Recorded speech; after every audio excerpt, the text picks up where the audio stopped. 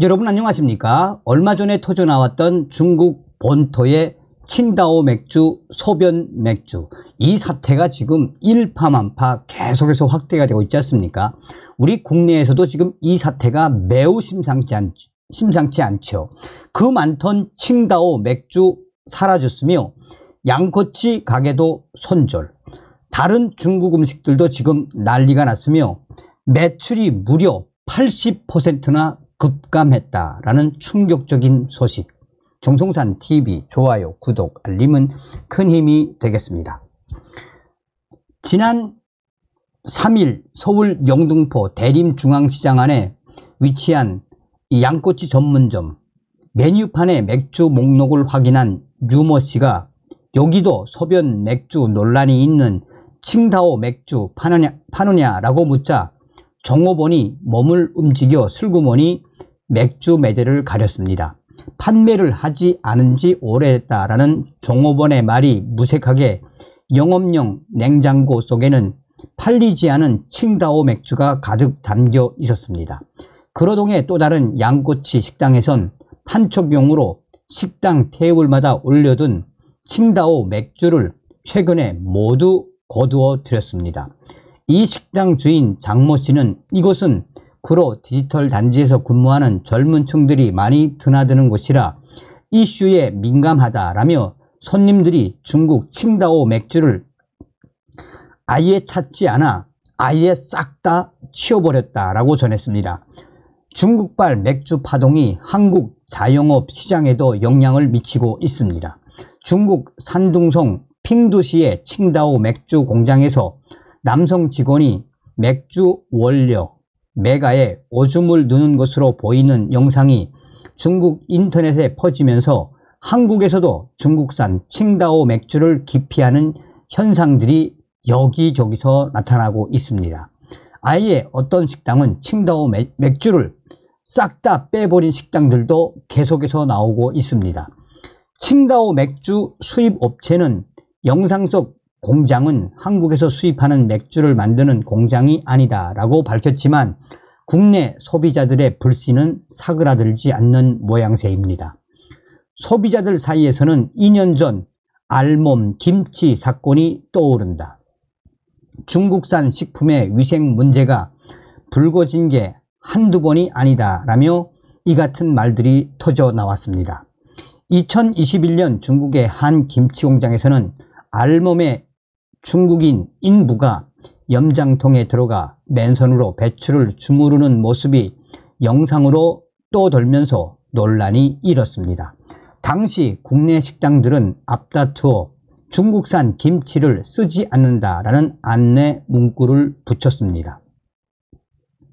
소비 변화에 빠른 편의점 곳곳에서, 편의점 곳곳에서는 맥주 판매 냉장고 앞 칸을 차지하던 칭다오 맥주를 잘 보이지 않게 비치하거나 아예 빼버리는 현상들이 계속해서 나오고 있습니다. 영등포구에 위치한 한 편의점 사장 김모 씨는 칭다오 맥주 소변 테러 논란 이후 며칠 동안 칭다오 맥주가 새 캔도 채 나가지 않았다라며 이번에 재고를 소진하고, 소진하고 나면 이 아예 아예 칭다오 맥주를 발주를 안 할 예정이라며 이슈가 사그랄 때까지 칭다오 맥주 이 아예 전시도 안 하겠다라고 이야기하고 있습니다.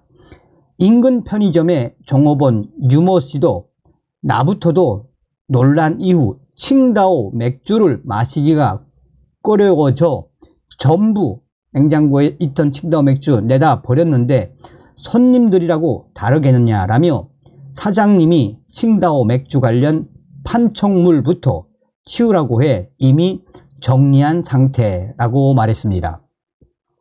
편의점 업계에 따르면 지난 21일 중국 칭다오 맥주 공장에서 소변 이슈가 불거진 뒤 칭다오의 국내 편의점 매출은 최대 40% 넘게 급감했습니다.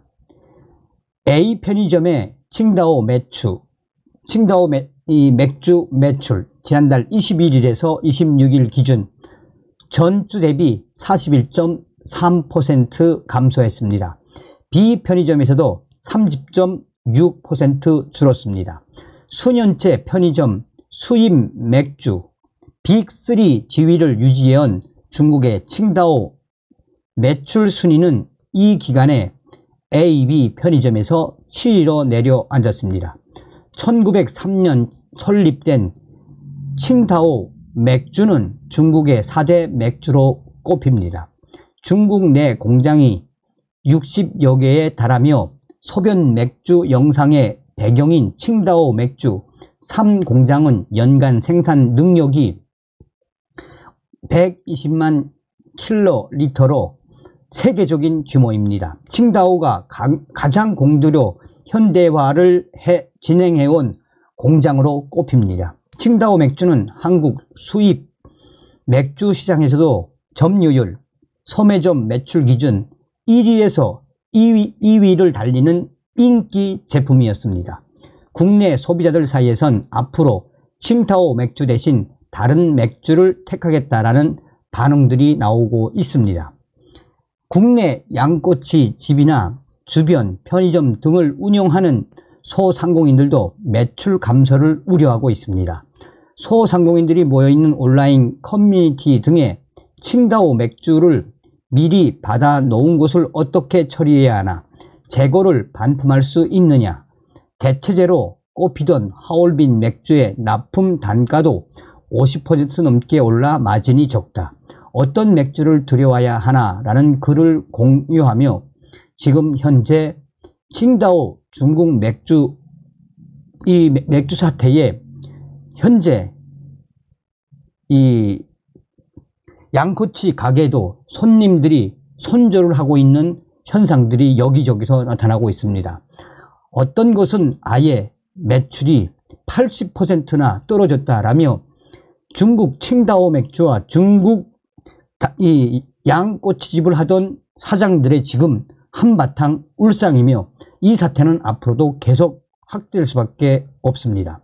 그런데 문제는 이 사태가 지금 또 다른 중국 음식점들로 또 중국 음식으로 확산되고 있는 겁니다. 한마디로 중국 음식이 난리가 났습니다. 주로 호거를 팔던 중국 음식점들이 지금 매출이 급감했으며 호거집과 또 다른 중국 음식들도 계속해서 찬밥 신세로 전락하고 있으며 강남에 잘 나가던 호거집, 호거집 사장도 이 칭다오 맥주 사태에 매출이 거의 80%나 줄었다라며 이런 충격적인 사태가 올 줄 몰랐다라며 다른 중국 음식점들도 지금 울상이긴 마찬가지다라고 서울 강남에 있는 최고급 중국 음식점 사장들이 한바탕 난리가 났다라고 전하고 있습니다. 그러니 중국의 이, 이 충격적인 소변 맥주 사태에 얼마나 그 사태가 빠르게 확산되고 있다는 겁니까? 다음 시간에 뵙겠습니다. 멸공.